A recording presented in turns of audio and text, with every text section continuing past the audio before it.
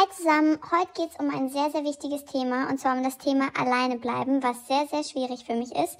Und deswegen wollen wir heute euch einfach mal einen Status quo geben, was wir bisher gemacht haben und wo wir das Gefühl haben, das funktioniert für uns gerade ganz gut.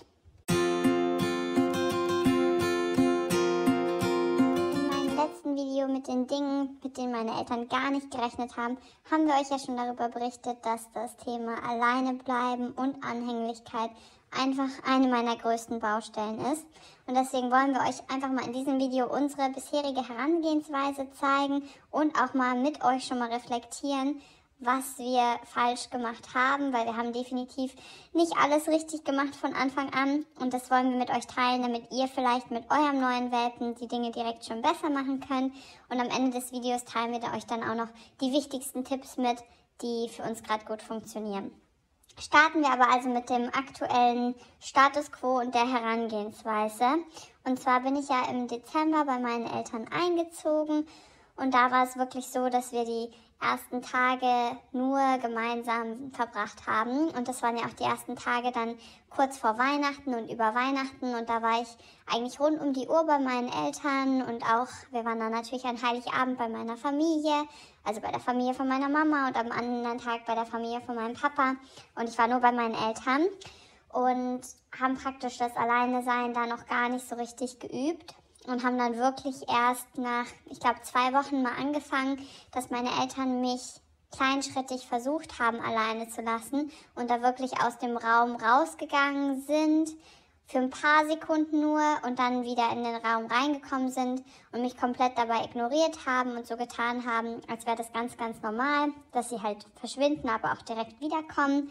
Und das war wirklich schwierig, weil ich habe echt immer direkt angefangen zu weinen. Und sie konnten halt noch nicht mal ein paar Sekunden wegbleiben und die Zeit mal irgendwie auf zehn Sekunden erhöhen. Und das war wirklich, glaube ich, ganz, ganz frustrierend für meine Eltern. Und dementsprechend war das so eine kleine Blockade, weil sie noch gar nicht so verstanden haben, wie kleinschrittig man eigentlich wirklich an das Alleinebleiben rangehen muss und haben dementsprechend auch echt so ein bisschen die Anhänglichkeit trainiert und mich zu dem gemacht, was ich jetzt bin, nämlich ein kleiner Welpe, dem alleine sein ganz, ganz schwer fällt und der sehr, sehr anhänglich ist. Aber wie gesagt, es ist ja auch noch nicht zu spät, um etwas zu ändern. Und deshalb haben wir dann irgendwann angefangen, das alleine bleiben zu trainieren und zwar mit Snackies. Das hat mir natürlich ganz, ganz gut gefallen. Das heißt, meine Eltern haben mich dann alleine gelassen und ich habe immer was zu kauen bekommen. Das heißt zum Beispiel einen meiner Lieblingssnacks, ein Kaninchenöhrchen oder aber auch ähm, eine Kaustange, die noch so umwickelt war, dann mit ähm, so einem Käse oder sowas ähnlichem. Das fand ich auch richtig, richtig gut und hat auch gut geklappt, bis natürlich dann der Snacky aufgegessen war. Und dann war wirklich auch das Theater direkt groß und das hat dementsprechend auch gar nicht so gut funktioniert, weil ich mich gar nicht wieder einbekommen habe. Und das war eher noch viel schlimmer, weil ich erst abgelenkt war und dann habe ich gemerkt, erst als der Snack aufgegessen war, oh, meine Eltern sind ja gar nicht da und habe gar nicht so dieses Alleine-Sein-Szenario als Alleine-Sein-Szenario verstanden. Und deshalb ist das auch etwas, was wir dann jetzt auch geändert haben. Das heißt, was meine Eltern momentan ganz, ganz stark mit mir trainieren und bestimmt wirklich 20 Mal am Tag machen, ist dieses Szenario, das wir ganz am Anfang eigentlich trainieren wollten, wo sie dann zu schnell aufgegeben haben. Und zwar, dass sie einfach den Raum verlassen und dann wiederkommen und dann langsam den Zeitraum erhöhen. Und das ist wirklich was, wo wir mittlerweile schon eine kleine Verbesserung merken. Wirklich ganz, ganz kleinschrittig müssen wir da denken. Und zwar ist es so, dass meine Mama jetzt zum Beispiel mit mir in einen anderen Raum geht, da irgendwas macht und dann rausgeht und mich in dem Raum lässt. Und mittlerweile ist es sogar so, dass ich mich hinsetze und mich und nicht direkt anfange zu jaulen. Und dementsprechend Mama bestimmt so 30 Sekunden bis 60 Sekunden, je nach Situation und nach Lage, ähm, den Raum verlassen kann, ohne dass ich bälle. Und dann kommt sie wieder, macht wieder was im Raum, guckt mich gar nicht an, ignoriert mich. Und das ist echt was, wo wir merken, dass die Situation besser wird, ganz kleinschrittig und wir sind noch ganz weit davon entfernt, dass ich alleine bleiben kann über einen längeren Zeitraum. Das haben wir nämlich auch mal versucht, dass ich einfach mal über einen längeren Zeitraum alleine bin. Meine Eltern haben das mal acht Minuten versucht um einfach zu gucken, ob ich mich vielleicht nach einigen Minuten von selbst einkriege und realisiere, dass meine Eltern nicht da sind und dass sie wieder zurückkommen werden, weil bisher war es ja immer so. Aber das hat sich wirklich einfach hochgeschaukelt und nach diesen acht Minuten haben meine Eltern das dann auch abgebrochen, weil sie halt auch nicht wollten, dass ich mich da noch mehr reinsteige und dass ich dann ein traumatisches Erlebnis habe, was das alleine sein dann natürlich noch schwieriger macht, wenn ich einmal so eine ganz, ganz negative Erfahrung gemacht habe. Und dementsprechend haben wir das dann gelassen und machen das jetzt wirklich in diesem ganz kleinschrittigen Verfahren, was natürlich ganz viel Disziplin erfordert von Seiten meiner Eltern, dass sie das wirklich am Tag 20 Mal mit mir machen oder noch häufiger. Ich meine, je häufiger, desto besser.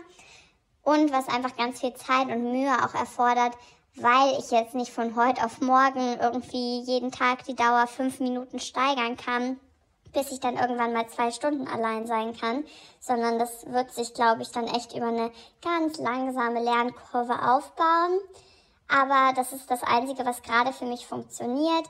Und vielleicht liegt es einfach an meiner eigenen Charaktereigenschaft, weil ich habe mich ja auch mit anderen Pudelfreunden ausgetauscht. Und bei manchen funktioniert es besser, bei anderen funktioniert es schlechter. Und dementsprechend ist es vielleicht einfach eine Sache, die mir ein bisschen schwerer fällt, wo mir dann aber andere Sachen vielleicht einfacher fallen. Oder es liegt wirklich daran, dass meine Eltern am Anfang das ein bisschen vernachlässigt haben und dass es besser wäre, wenn wir es von Anfang an trainiert hätten und wirklich damit Disziplin rangegangen wären. Aber wer weiß das schon. Das sind ja Dinge, die wir jetzt auch gar nicht mehr ändern können. Und deshalb ist das so unser aktueller Stand und unsere bisherige Journey. Und da haben wir jetzt ja natürlich auch schon ganz, ganz viel rausgelernt und wollen jetzt dann noch einmal als Fazit unsere bisherigen Tipps mit euch teilen, was für uns gut funktioniert und was wir auf jeden Fall auch jedem empfehlen können. Unser erster Tipp und auch etwas, was meine Eltern definitiv mit mir anders gemacht hätten, rückblickend ist, dass sie einfach früher angefangen hätten, weil einfach ich als Welpe ganz, ganz schnell was lerne und dementsprechend mich jetzt sehr, sehr doll an die Anwesenheit meiner beiden Eltern gewöhnt habe, weil ja auch beide von zu Hause aus arbeiten und dementsprechend hätten sie eher damit angefangen, dass ich alleine bleiben lerne. Und wie sie es gemacht hätten, ist, dass wir wirklich ganz, ganz kleinschrittig rangegangen wären. Also das, was wir auch jetzt machen und dann auch die Zeiträume ganz langsam steigern und Welpen und Hunde sind Rudeltiere, die sind eigentlich immer zusammen. Und dementsprechend muss man sich da wirklich in die Lage des Hundes reinversetzen und sich vorstellen, dass der noch nie alleine war und dementsprechend für den ein paar Sekunden auch schon abnormal sind.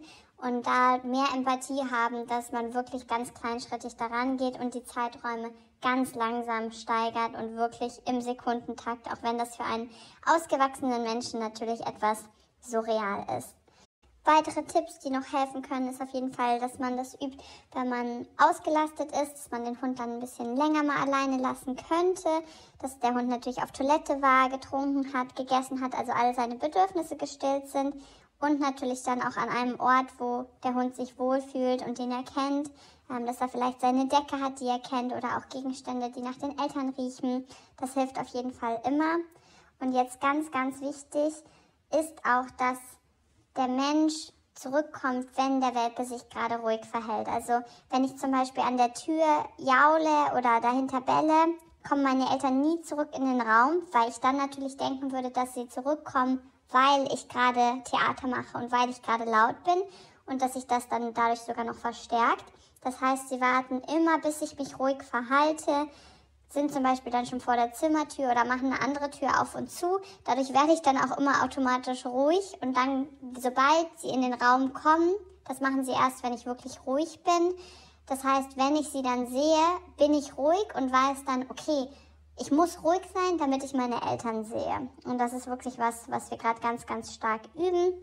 Und auch, dass meine Eltern da kein großes Tamtam -Tam und kein großes Drama drum machen, dass sie tun, als wäre das wirklich was ganz Normales, dass ich nicht denke, oh Gott, es passiert hier gerade was wirklich Schlimmes und meine Eltern verabschieden sich von mir und begrüßen mich freudig, wenn sie wiederkommen und loben mich. Das muss ja wirklich was ganz Schlimmes sein, was ich hier durchgemacht habe.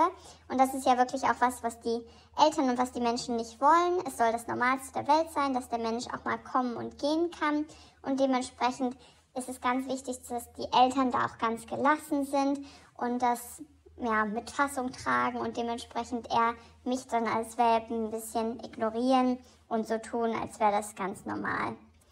Mm, und was noch ein extra Tipp ist, was uns so ein bisschen geholfen hat, dass man einfach auch mehr Sicherheit dafür bekommt, wenn ich mal alleine bin, ist, dass meine Eltern ein Handy dagelassen haben und mit dem anderen Handy dann zum Beispiel einen FaceTime oder WhatsApp-Anruf gemacht haben, natürlich sich auf Stumm geschaltet haben oder wenn ihr es natürlich ähm, noch besser machen wollt und beide Handys mitnehmen müsst oder auch für langfristig, ähm, wenn man dann mal den Hund länger alleine lässt und auch einfach mal länger weggeht, wenn man das dann aufgebaut hat und geübt hat, ist so eine Hundekamera.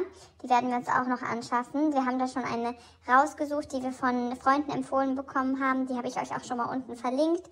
Das hilft auch ganz, ganz stark fürs Alleine sein. Und dementsprechend sind das so unsere Tipps, die wir haben, auch wenn wir wissen, dass wir auch noch ganz, ganz doll am Anfang stehen, wie ihr auch in diesem Video gesehen habt. Aber trotzdem ist es ja gut, sich auszutauschen und schon mal das zu teilen, was gerade bei uns der aktuelle Status quo ist. Und vielleicht habt ihr ja auch noch Tipps oder Dinge, die ihr teilen könnt, die uns helfen könnten. Das wird uns natürlich auch total weiterbringen. Und ähm, da sind wir auch immer offen für. Das heißt, lasst uns einfach einen Kommentar da oder kontaktiert uns auf Instagram. Da schreiben wir auch immer zurück. Und ja, wir freuen uns auf jeden Fall, dass ihr dabei wart und hoffen, dass bei euch das Alleine-Sein besser klappt als bei uns und natürlich auch, dass sich das bei uns in Zukunft dann auch noch aufbaut. Das wäre mir natürlich als Welpe auch ganz, ganz wichtig, dass ich meinen Eltern da etwas Freiheit zurückgeben kann. Und ansonsten freuen wir uns, wenn du bei unserem Channel weiterhin dabei bleibst und abonniere noch meinen Kanal. Dann verpasst du auch keine weiteren Videos von mir. Also bis zum nächsten Mal und mach dir einen wundervollen Tag.